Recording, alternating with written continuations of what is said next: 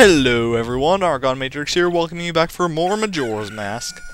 Oh my goodness, I can't even tell you guys how good it feels to be recording this game. Seriously, ever since like the end of my LP, I've just been like, man, I want to record more Majora's Mask, but I knew I couldn't, because I had already beaten the moon. Oh yeah, let's look up at the moon and where it's not anymore. Ha ha, you stupid- uh. What? But I beat you! You turned into a rainbow! What? Rainbow! Alright, fuck the rainbow. um, we're here for a bonus episode. So, yeah, actually, once you beat the game, it resets pretty much everything. You go back to the dawn the first day, and the moon's back up there and everything. The Skull Kid, there's still the imminent threat of apocalypse. And you actually have all your masks back from the kids, so you don't have to go back and get them all again. And you actually also have the Fierce Deity's mask here. Yes. Oh my goodness. It's so crazy. Yeah, the first time I actually played this game, I thought that you would have to, like, um... For some reason, I thought that they would, they would make, like, some kind of second quest where you'd have to go back and get all the masks again, except, like, you had to do something different for each mask. But they didn't do that. Because that probably would have caused some tedium, and more people hate this game than already do. Yeah, there's actually quite a few people that hate this game. Can you believe that shit? That's just... I don't even know. I don't even know. Anyways, so we are going to go ahead and show off what the Fierce Deity's mask can do in this video. Yes, but as you can see, outside of like anywhere pretty much right now, um, the Fierce Deity's mask is like grayed out or transparencied out, and you cannot equip it at all. That's because you can't equip it outside of a boss room because it is a mask specially designed to take on the bosses. Except it doesn't quite work that well on all the bosses, just mainly two. And I'm going to go ahead and show those, well, three, I guess, but I'm going to go ahead and show those off. So, that's really all I have to say on that. I will meet you at Odolwa. Jeremiah was a bullfrog. He was a good friend of mine. I never understood a single word he said, but I helped him drink his wine. Okay, so we are now in Odolwa's room, and as you can see, the great, the Fierce D's mask is not transparent anymore. So let's see what this does. Holy crap! Holy crap! No! that's, I honestly think that's like the scariest transformation mask because like it's actually Link's face itself, and his eyes are. It's just something really creepy about it. Yeah, but now look at us. We are freaking gigantic. We're bigger than like adult Link from Ocarina of Time. We're bigger than uh, I'm trying to make another comparison, but I can't. Oh well. And look at our freaking sword. Like, even on the sword button, it changes and everything. It's so cool. And you make the adult Link sounds when you're like this, too, so that's pretty awesome. Anyways, guess let's get right into it here. Oh, man. We don't even have pupils. How scary is that? We had it in transformation, but... Oh, well. Alright, hey, Odolwa. Nice to see you again. Haven't seen you in, like, forever. But, we're not going to be seeing you for long. Oh yeah, check this out. Get... Oh, dude, hit him. Thank you. Oh, what? Okay. Oh, there we go. That's a doll for you. My goodness. That went by so fast, I hardly even knew what was going on. He just started glowing blue, and all of a sudden... Blue fire. So, that's a doll for you with the Fierce Deity's mask. That is probably the cheapest, like, boss battle ever now. It's crazy. But basically what's going on there is that when you L target and then press your sword button as a Fierce Deity, you shoot out a magic laser that like pretty much annihilates everything. And that is basically the whole key to this Fierce Deity's mask. That's what makes it so freaking cheap that you won't even believe it. Like against Gyorg and everything, it's just crazy.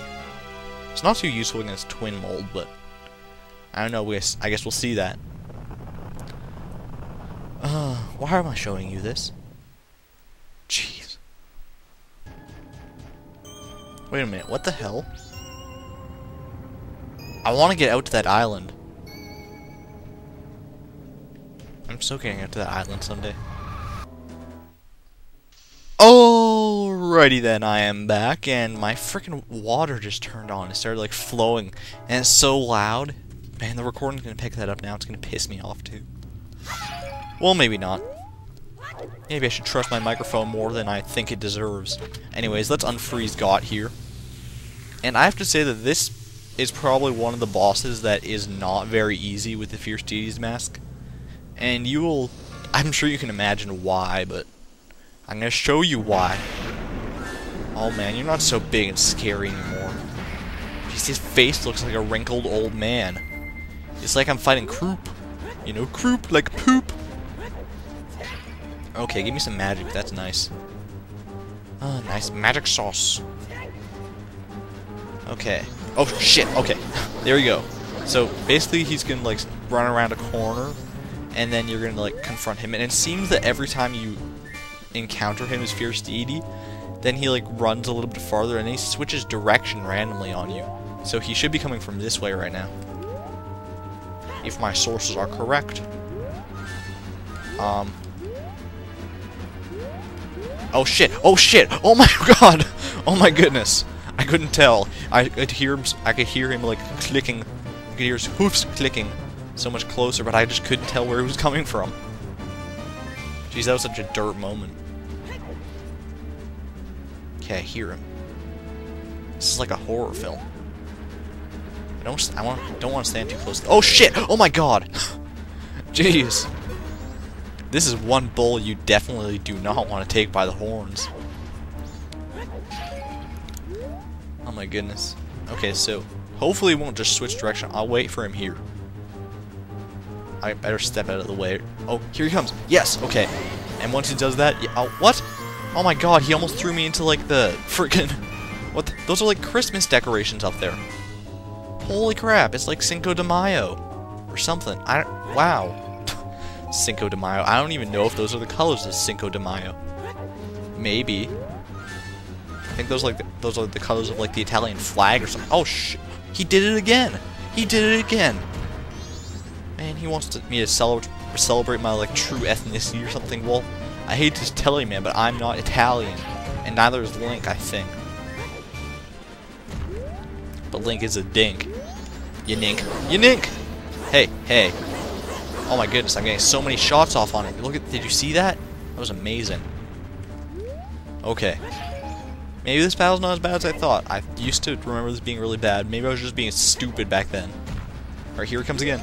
Oh, hit him. Yes, yes, yes, yes. Sweet! Oh my goodness, and look at him glow blue. Jeez, that reminds me of like a Freezy or something.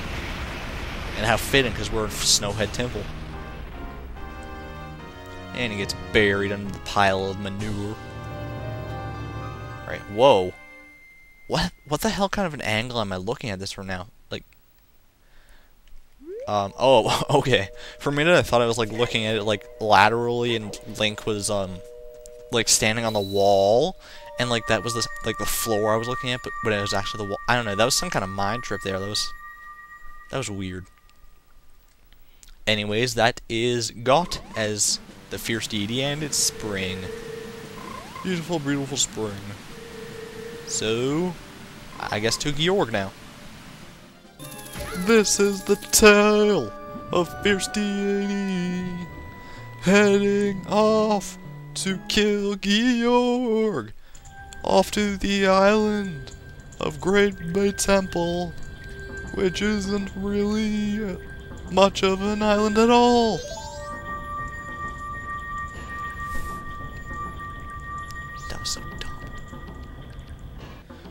Okay, guys, I'm back again now. And how many times have I said that now? I don't know. And let's go ahead and just put on the Fierce Seas mask up here. Yeah, we're to put it on before we drop down. Do you believe that? And now we drop! And then boom. Nice full body shot of uh, Oni Link there. That's actually another name for the Fierce Deity is Oni Link. I don't know what that's supposed to mean. It's like Japanese for something. I don't know. Oh, and while we're going through this cutscene again, which I might end up speeding up or something, I'm going to take a drink of apple juice here. Yeah, apple juice, not Coke, apple juice.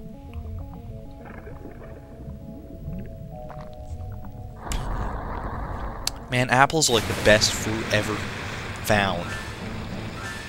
Okay, so as the Fierce Deity here, you can actually pretty much destroy this guy. Just like, look at this. It because like these freaking beams. Okay, I'm not hitting him any. Wait, don't get out of the water, dude. There's no time to go in for a swim. Basically, all you have to do is just lock on and fire, because this thing goes through the water. You don't even have to ever step in the water. The only thing you really have to be careful about when you're using the Fierce D's mask is that um, it actually consumes magic. Little by little, it consumes magic, but it does. So just be wary of that.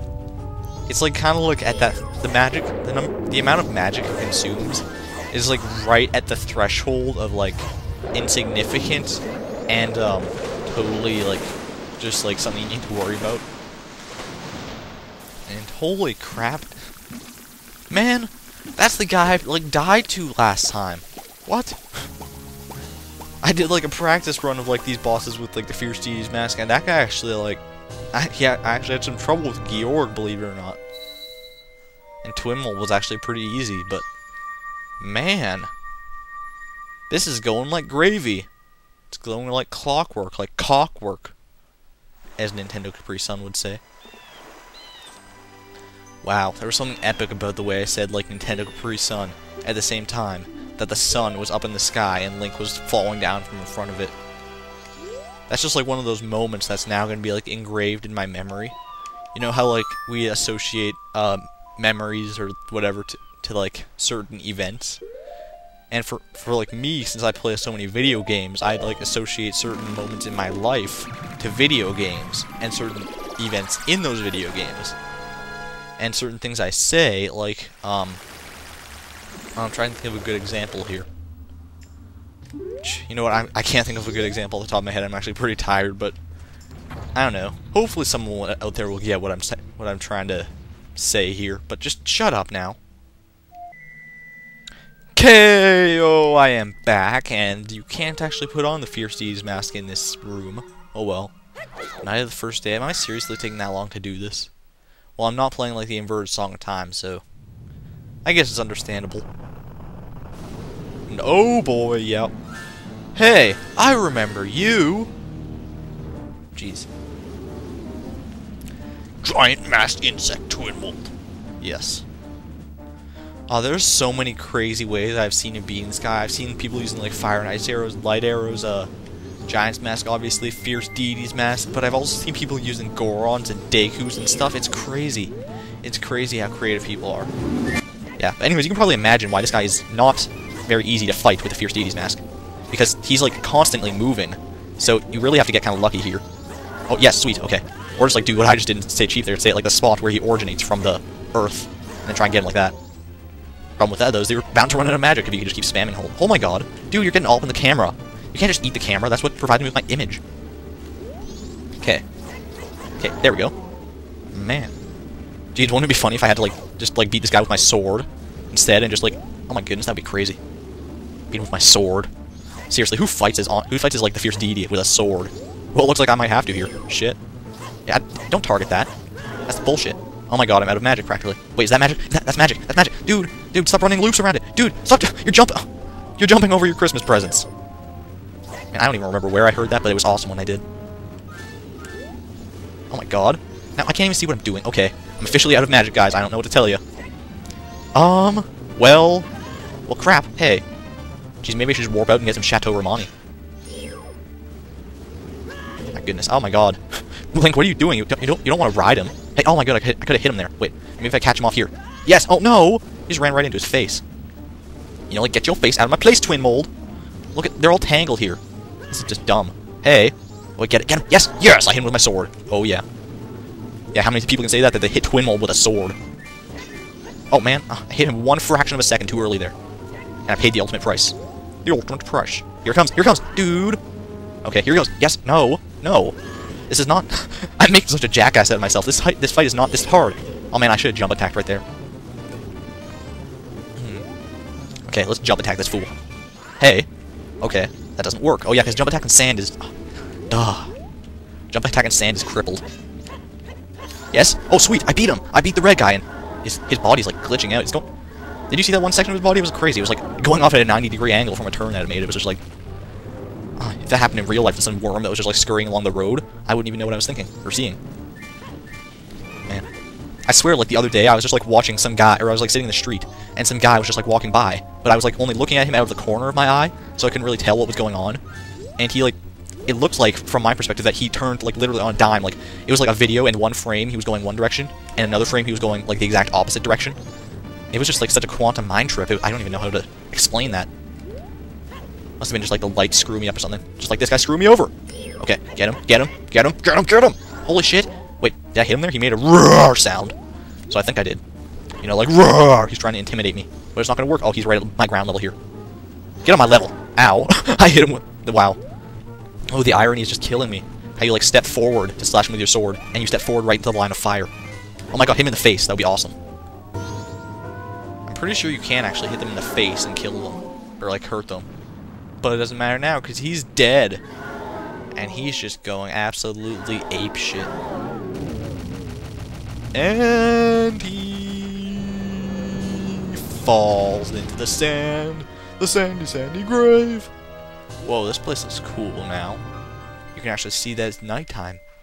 In a kitchen, just like yours. Always quiet, or is it? A North American house hippo is found throughout Canada and the eastern United States. Anyways, that seems that it would be the last boss that I want to show off in this video. Um, I still have, like, you can fight Majora's Mask with the, or, like, the three forms of Majora with the Fierce DD2, but I kind of want to save that for, like, its own special video along with something else that I have up my sleeve. Yes, I still have many aces up my sleeve for this game, don't you worry. But that should probably be it for this video, so I thank you all wholeheartedly for watching, and until next time, this is Argon Matrix signing out. Thank you, and good night. Swordplay.